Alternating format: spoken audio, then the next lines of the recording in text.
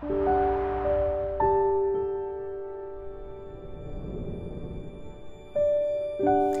grew up in Juneau, Alaska, and we literally lived on the side of a mountain. Juneau is nestled between all of these massive, striking mountains, and the only way to get in and out is via boat or plane.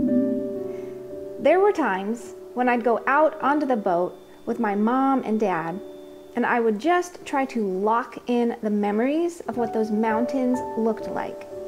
I have a very vivid memory of a waterfall cascading down through the lush greenery and the rocks, and it was so beautiful that I took a mental picture of it and I knew I'd always remember it, and I do. So, mountains have always held a very special place in my heart, and all of that majesty and beauty is represented in this absolutely stunning circular Pi shawl by Emma Buttram.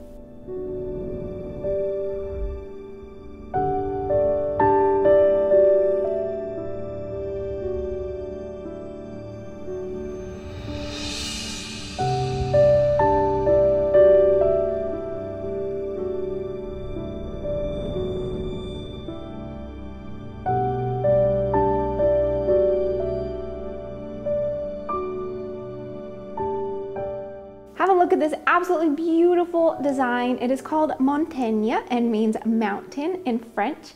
It was designed for you by Emma Buttram and I was so excited when she reached out to me with this amazing concept. It starts here in the center and then progresses outward and then finishes with this stunning border. I'm gonna be showing you in a minute just how easy it is to get started with this shawl by using the magic loop method. It's an intermediate pattern, but it just uses basic stitches. And so if you've never made a circular shawl before, I highly recommend you give this one a try. I think you're going to love it.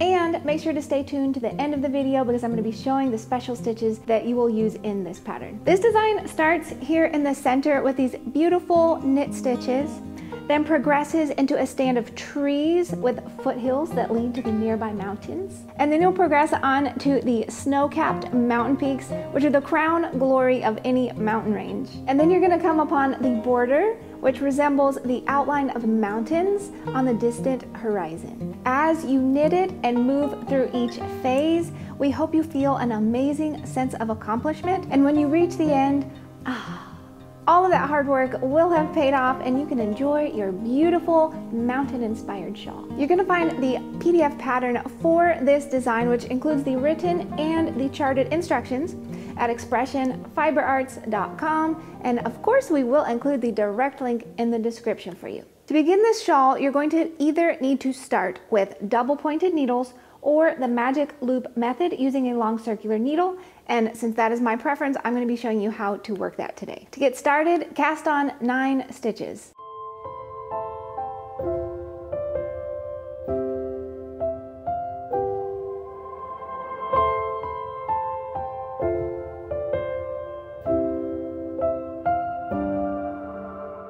For round one, you are going to knit every stitch around. Once you have your nine stitches cast on, you're going to find approximately the center.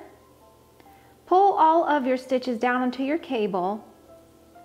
Fold that cable in half, and where you found that center, you're going to pull your cable up through that point. Next, you're going to find the side that does not have the yarn attached and you're going to push your needle into those stitches. Then grab your working yarn, pull this other needle up and you're ready to start knitting. Make sure you've got your working yarn. Go ahead and flip your work over like this. Take the working yarn behind that needle and you're ready to start knitting your first row. You want to make sure your stitches are not twisted and we'll be able to check after we've completed our first row. You'll just begin knitting like you would knit anything else. And I'll show you what to do once we've completed these first five stitches. Four, five. Now I like to continue holding my working yarn, flip it up and over, grab both the needle and your cable and pull that cable up, pushing these stitches here onto that other needle. Rotate your work and then you can pull up the other needle and you're ready to get started knitting these four stitches. One, two, three, four, and you've now worked your first round of the shawl.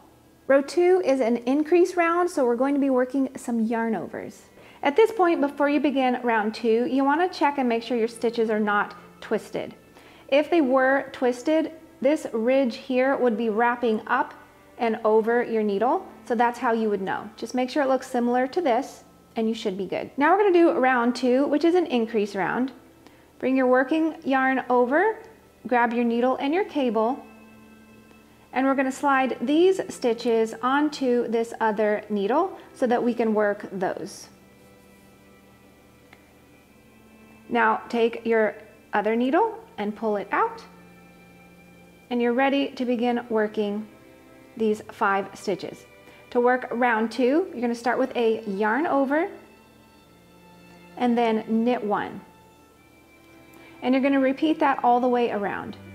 Yarn over, knit one, yarn over, knit one, yarn over, knit, yarn over, knit. Now let's go ahead and switch needles. Working yarn on top. Grab your needle and your cable and slide those other stitches onto the other needle. Rotate your work and pull up the other needle. Now remember, you want to make sure you start with your yarn over here knit one, yarn over, knit one, yarn over, knit one, and one more time, yarn over, knit one, and you can check again just to make absolutely sure that your stitches are not twisted. And we are looking good. And just continuing along, I will show you how to knit row three, which is just knit stitches. Let me go ahead and show you round three. It's just knit stitches. So again, bring your working yarn around, grab the needle and the cable, pull the other needle up onto, up into those stitches, rotate your work, pull your other needle out, and you're ready to start knitting the next round. And this gets really fast and efficient. Once you've done it a few times, we do have another video on how to knit the magic loop method if you'd like to check that one out as well. It's my favorite method for making hats and mittens and starting sweaters. I use it all the time. So there's that side. Bring your working yarn over. Grab the needle and the cable and slide these stitches up onto the other needle. Rotate your work. Pull your needle up. and continue along knitting the stitches on the other side.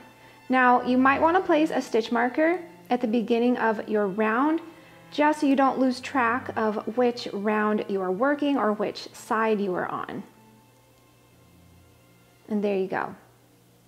As you continue along with your shawl and your stitches increase and increase, you're going to eventually have so many stitches that you no longer need to use the magic loop method they will simply fit all the way around your circular needle. And that's how you get started with this beautiful shawl. I would also love to show you some of the special stitches you're gonna be using in this pattern.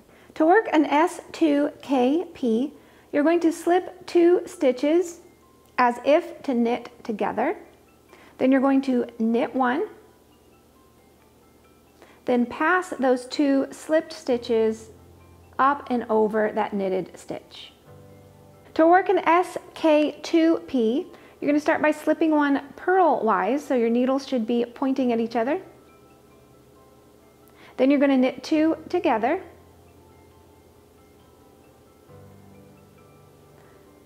Then you're going to pass that slipped stitch over and off. To slip one with the yarn in back, you're just going to make sure your needles are pointing towards each other because we're slipping purlwise. Your yarn is in the back, and there you go. To slip one purlwise with the yarn in front, bring your yarn to the front. Make sure your needles are pointing towards each other. Slip one, and there you go. To work a slip slip knit, it's super simple. You're going to slip one as if to knit, slip another one as if to knit, and then insert your left needle into those and knit both of those stitches together. I hope that was helpful for you and that you remember that no matter what mountains may show up in your life, that you have the strength to climb them. Thank you for joining me and I'm gonna see you next time. Bye for now. And when you reach the end, ah. Okay. Little, little, little, little, little. Little, little, little, te quiero. Okay, ready? yeah. Okay, what was it again? Oh, it was toasty. This bulky wool sweater.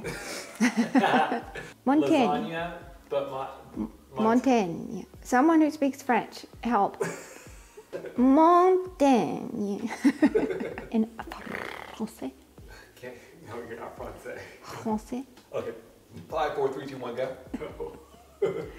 Look at this beautiful shawl. It is called Montaigne. it's called Montaigne. Let's just put the word on the screen. Montaigne. Mont, mont, it means mountain. then you come to the foothills, and then after that, you come upon the next Wow. on the nearby horizon distance. Can't do it. Thank you for joining me, and I'm going to see you next time. Bye for now. Girl. Aw.